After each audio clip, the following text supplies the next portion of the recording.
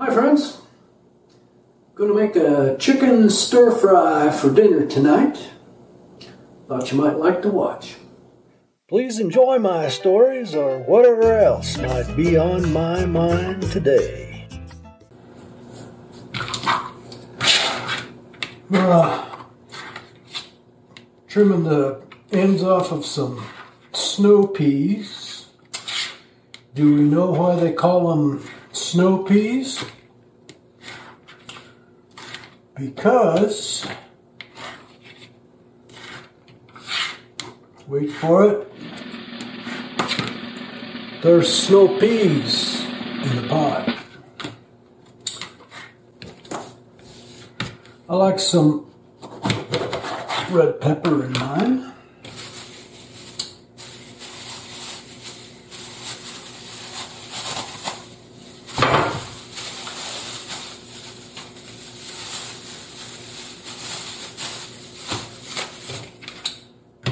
This is uh, poblano pepper. And we don't do any seeds because um, many years ago I had a diagnosis of diverticulitis. Frankly, I think the doctor needed to make payment on his apartment complex that he owned. But anyway, that might be another story.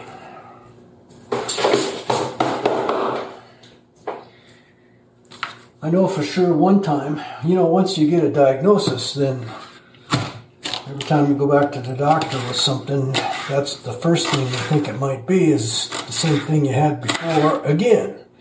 I understand that. If you have a history of something, then it might be likely that you get it again. But in one case, um, I got a diagnosis of uh, diverticulitis. It was the, the second time. First time was fairly severe. I spent five days in the hospital in Guadalajara. The cost of that, by the way, which I just paid, was $4,000 for five days in the hospital with diverticulitis. And the $4,000, once they got your American Express card in the private hospital in Guadalajara, every doctor on the staff sticks his head in the door and says, Hi, I'm the lung guy. Let's get an x ray. Hi, I'm the foot doctor. Nice to meet you. Hi, I'm the butt doctor. Nice to meet you. And every one of them sends you a bill for a thousand pesos, which at the time was a hundred dollars. So it didn't cost four thousand dollars to be in the hospital in Guadalajara for a week if you took those guys out of the picture. Anyway, um, still a very reasonable price for being in the hospital for five days, no matter what you're in there for five days. But what I was talking about was that the second time I got that sharp pain down there, I went back to the same doctor. And he said, Oh, you're having another diverticulitis attack. And he gave me some pills. And I went back a day later because I was starting to get a rash back here on my back. And um, I said, Hey, I'm having a reaction to those meds you gave me for diverticulitis. And he says, Oh, wait a minute. You have shingles. So it was a misdiagnosis. But the family still thinks I have diverticulitis. Yeah, maybe I did, but um, I don't know why I'm sharing my medical history with you. I had a colonoscopy, and they said, yes, you have uh, three pouches in there. And I said, well, are they big ones or little ones, or how do you decide that? And they said, no, yours are all pretty uh, small to average. So don't worry about it.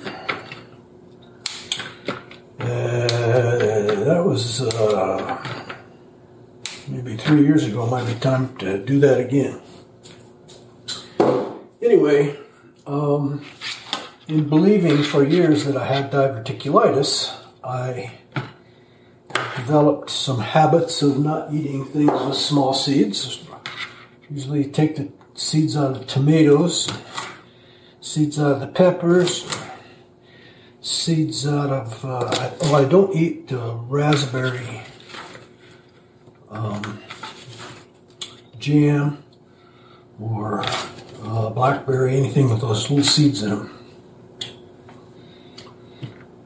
Anyway, that's, uh, I don't know why we're talking about that. Except that it keeps my mind active so I don't cut my finger. So I'm putting this stuff back in the refrigerator for another day. I keep all of my things separate because they cook at different rates. And I cook them individually so that they all get cooked just to my satisfaction. My satisfaction would be a little more raw than for Lynn, but um, Lynn uh, needs things to be a little more tender to chew them, so I, in, for my taste and probably for yours, I overcook some of it a little bit, like the asparagus. Let's throw some uh, red onion in there.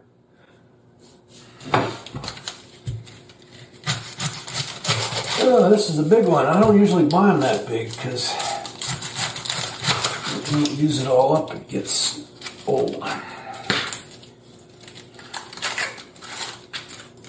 Also, I've noticed that if you keep onions in the refrigerator, and I do keep them in the refrigerator after they're cut,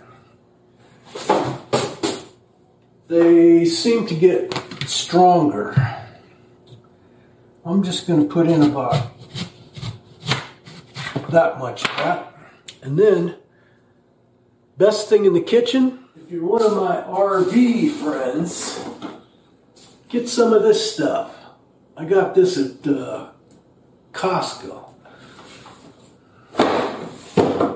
Best RV thing ever.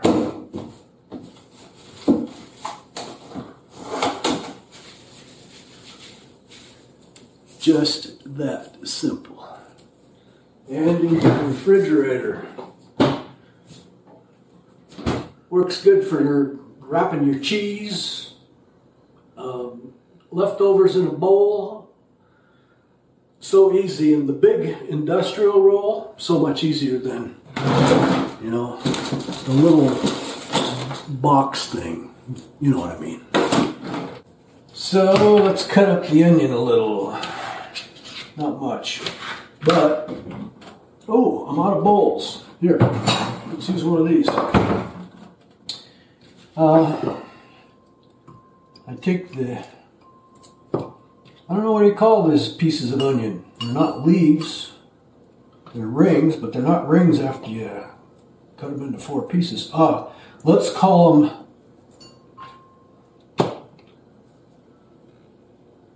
arcs. the onion arcs.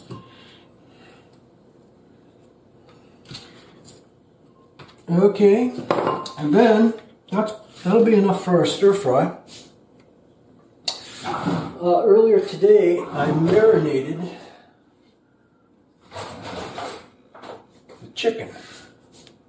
Just uh, chicken breast cubed, and, um, mixed it with uh, ginger powder, garlic powder, pepper, sesame oil, and a little oyster sauce. Marinated that. It's been marinating for a couple hours. So that's what's going into my stir fry. Asparagus, red pepper, snow peas, marinated chicken breast, and red onion. One more thing. Cup of noodles, noodles. Now, I take the, I, I cook them in the microwave for three minutes, full of water. But then I rinse them to get all of the cup of noodles spices out of them and just use the noodles. Most of the time we use rice, but every once in a while we like a change. So those noodles will go in my stir fry.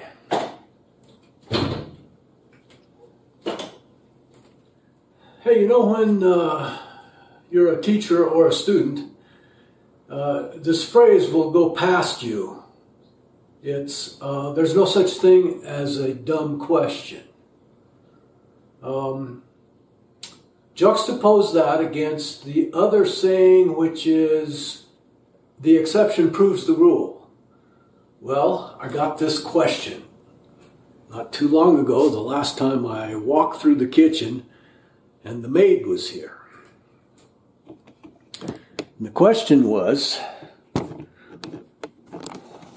why don't you have any grates on your stove? Because twice a week, the maid washes the stove. And she hadn't put the grates back yet. Speaking of dumb, um, I ordered my absentee ballots today. Uh, I'm registered to vote in the state of South Dakota. So we get uh, absentee ballots as foreign uh, residents, U.S. citizens, but living out of the country. And um, the ballots will be sent to us on September 18th, which is a few days from now. And um, I have a dumb question because um, my president told me I should vote twice.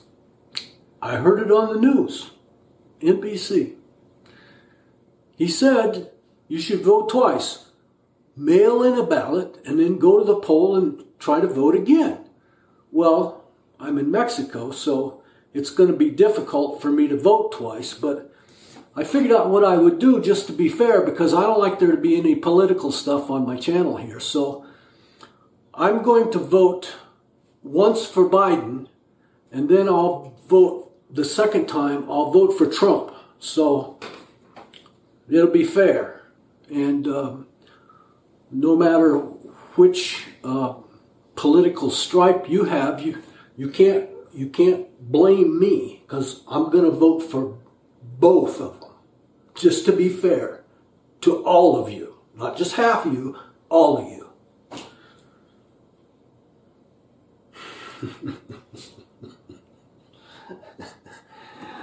Oh, don't we live in wonderful, strange times? We're going to heat up some olive oil.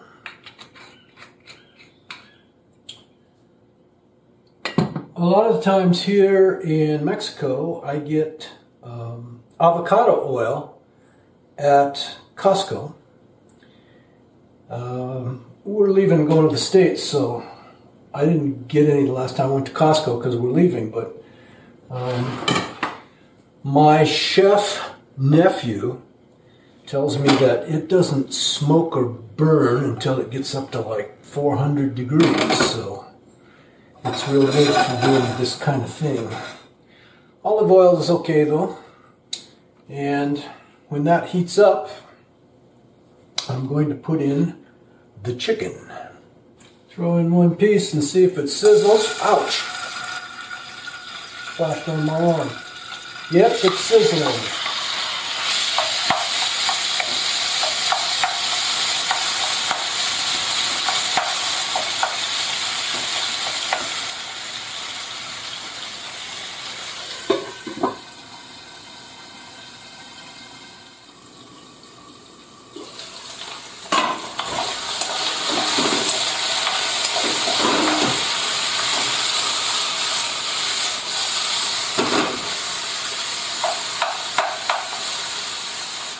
You don't want to overcook your chicken, but you definitely want to cook it. What I'm doing is, after tossing it with the pan, I'm turning over the few pieces that didn't get turned over when I cooked them. We'll give that another minute.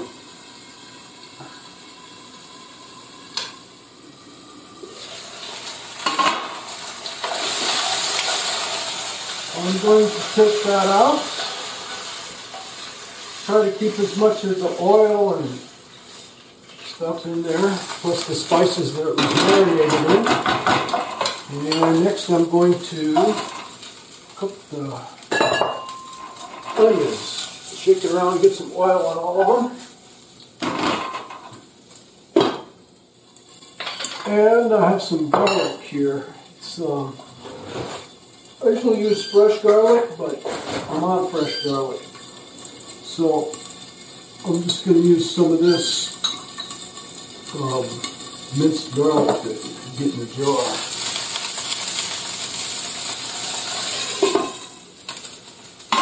Put that garlic in there last because I don't want to burn the garlic. I like to burn the onions a little. To add that to the meat. And we're going to need some more oil.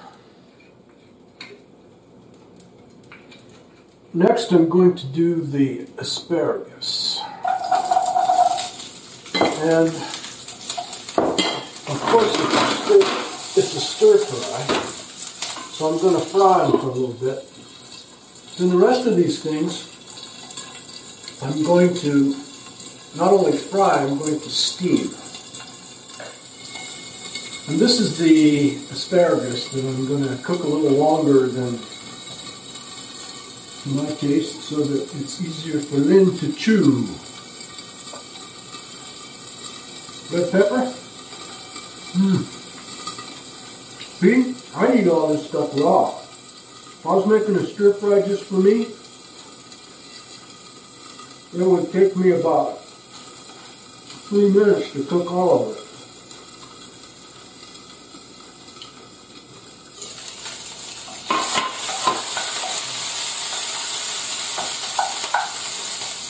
Now what I want to do, in order to make that asparagus real tender, is I'm going to steam it a little. And while that's going on, I'm going to mix up some sauce. I'm starting with a little water. And some oyster sauce.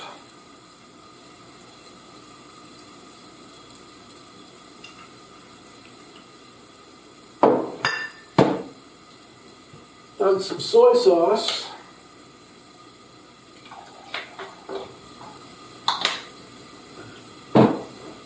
And some sugar.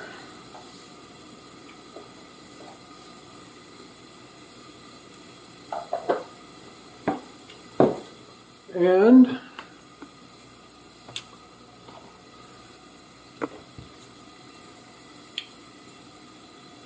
a little cornstarch.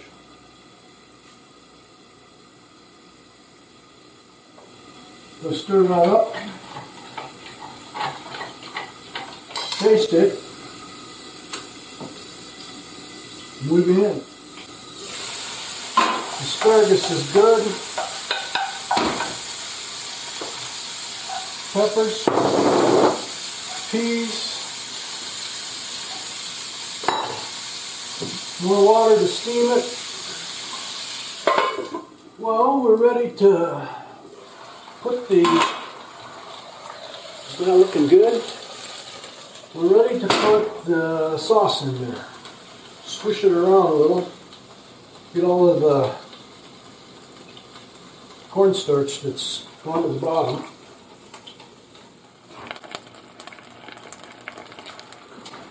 And as it begins to thicken, I put in my secret ingredient. You can't tell anybody about this now. This is my secret. And I don't want you all, you know, blabbing about it.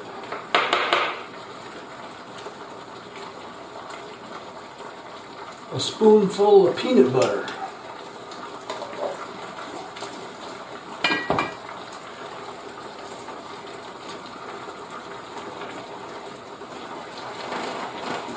And it melts right in there gives it a great taste.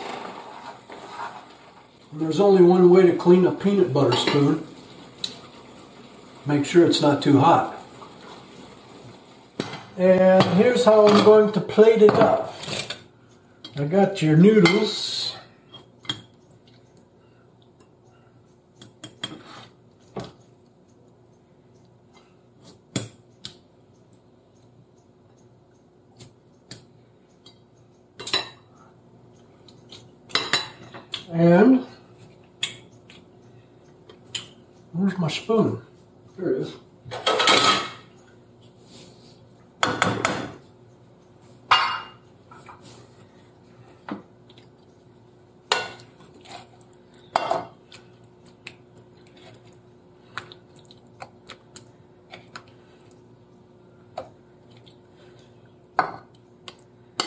Is that pretty? Now, Lynn doesn't like things as spicy as I do, so um, I take along with me to the table sriracha. No, no chopsticks. I told my chopstick story about my Korean son-in-law. Go back through some of my old videos. It's a story worth listening to. Hey, if you like me, give me one of those thumbs up. And please subscribe and hit that little bell so you know when I post next. Please share me with your friends on social media. Thank you for watching. I hope you enjoyed what was on my mind today.